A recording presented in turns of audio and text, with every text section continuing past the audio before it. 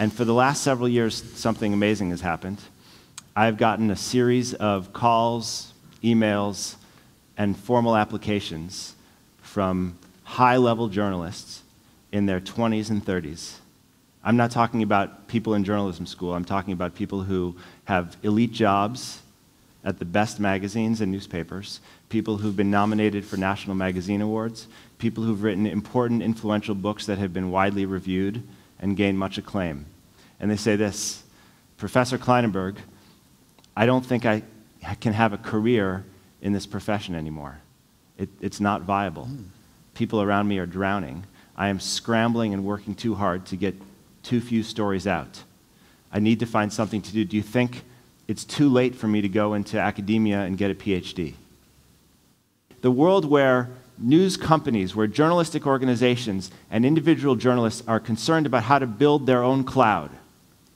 They want to win eyeballs in an attention economy. That's a world in which entertainment values trump news values. Because you can't compete with cute kitties.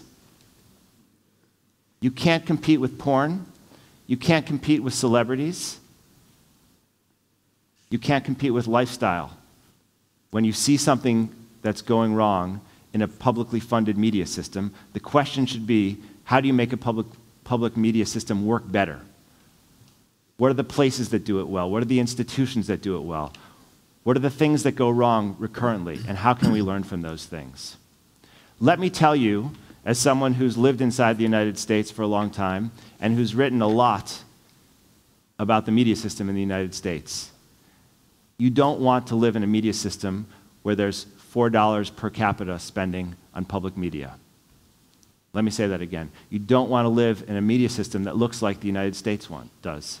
I, I think, for, as an outsider, I think journalism is an extraordinary profession, and it's a hard won profession.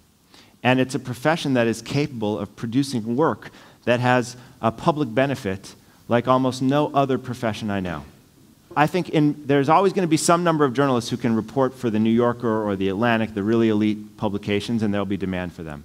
But what we've lost is that magical combination of things that gave rise to this blood and guts reporting that drove kind of the, the political system that we call democracy. So I do not want to get rid of professional journalism. I'd like news organizations to be thinking entrepreneurially and seriously about how to make a new model work.